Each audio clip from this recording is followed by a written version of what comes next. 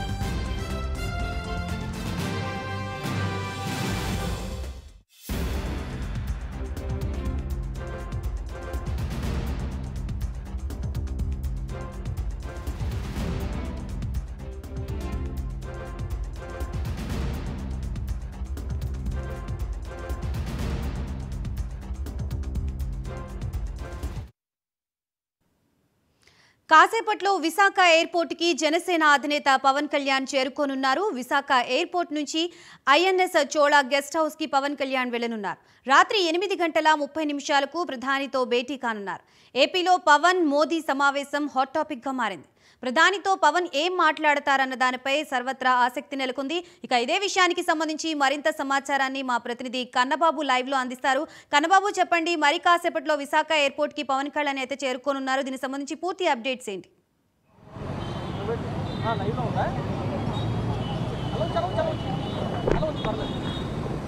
Thank you Gayatri ప్రస్తుతం అయితే Visakha airport దగ్గర అయితే ప్రస్తుతం అయితే మనం ఉన్నాం. అయితే మరికొద్ది సేపట్లో విశాఖ ఎయిర్పోర్ట్కి పవన్ కళ్యాణ్ చేరుకొని ఉన్నారు. అయితే ఒక్కసారిగా పవన్ విశాఖ చేరుకోవడంతో ఇక్కడ ఉన్నటువంటి రాజకీయ సమీకరణాలన్నీ కూడా ఒక్కసారిగా వేడెక్కుతాయని చెప్పాలి. అయితే మరికొద్ది సేపట్లోనే ఇక్కడ ఉన్నటువంటి ఎయిర్పోర్ట్కి పవన్ కళ్యాణ్ చేరుకోవడంతో ఇక్కడ నుంచి పూర్తి స్థాయిలో ఉన్నటువంటి సెక్యూరిటీతో పవన్ ఏర్పాటు చేసుకున్నటువంటి కాన్వాయ్తో ఇప్పటికే ఎయిర్పోర్ట్ కూడా చేరుకుంది. అయితే కాన్వాయ్లోనే ఇక్కడ నుంచి ప్రైవేటు ఏదైతే హోటల్ ఏదైతే ఉందో నా హోటల్ ఏదైతే ఉందో నో హోటల్కి చేరుకునే పరిస్థితి కూడా ఉంది. అక్కడ నుంచి సాయంత్రం ఏదైతే ఆ, మోడీతో మోడీతో సమావేశం ఏర్పాటైన అనంతరం కూడా ఇక్కడ ఏం జరుగుతుంది అనే రాజకీయ సమీకరణాలకు ఒక్కసారిగా వేడెక్కుతున్నటువంటి పరిస్థితి అయితే ఉంది. అయితే విశాఖ ఎయిర్పోర్ట్ వద్ద భారీ బందోబస్తు ఏర్పాటు చేసినటువంటి పరిస్థితి అయితే ఉంది. అదేవిధంగా చూసుకుంటే ఏదైతే విశాఖ జిల్లాలో ఉన్నటువంటి రాజకీయ సమీకరణాలన్నీ కూడా ఒక్కసారిగా వేడెక్కాయని చెప్పాలి. ఒకే రోజు ఆ, విశాఖకు ఇటు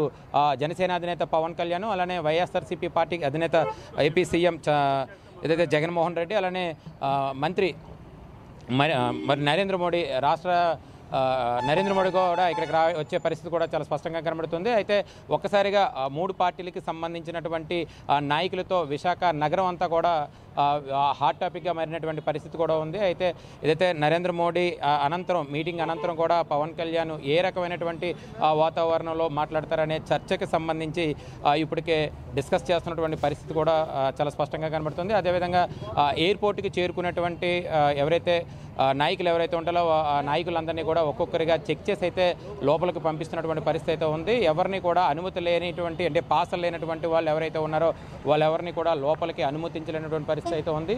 అయితే ఏదైతే పవన్ కళ్యాణ్ రాకతో ఒక్కసారిగా విశాఖలో అంటే నిన్న మొన్నటి వరకు ఏవైతే ఇక్కడ ఉన్నటువంటి సమీకరణాలు చూసుకుంటే అంటే గడిచిన కొద్ది రోజుల కిందట పవన్ నిర్బంధించినటువంటి నేపథ్యంలో మళ్ళీ ఒక్కసారిగా మోడీ నుంచి పిలుపు రావడంతో విశాఖలో ఒక రకంగా చెప్పాలంటే విశాఖ జన సైనికులందరిలోనే ఒక రకమైనటువంటి ఆశాజనకమైనటువంటి వాతావరణం అయితే నెలకొంది. దీంతో విశాఖ ఎయిర్పోర్టు ప్రాంగణానికి చేరుకోవడానికి అయితే ప్రయత్నం చేసినప్పటికీ కూడా ఎవరిని ఇటుగా రానివ్వకుండా ఎక్కడికక్కడికి బారికేట్లు ఏర్పాటు చేసి చాలా ప్రశాంతమైనటువంటి వాతావరణంలోనే విశాఖ అంతర్జాతీయ విమానాశ్రయానికి చేరుకోబోతున్నారు. అయితే ఇక్కడికి చేరుకున్న అనంతరం కూడా నేరుగా నా హోటల్కి నా హోటల్ నుంచి ఏదైతే ఆ, మోడీ ఉన్నటువంటి ప్రాంతానికి ఏదైతే ఉన్నారో ఆ మోడీ ఉన్నటువంటి ప్రాంతాన్ని కూడా చేరుకుని అక్కడ ఆ,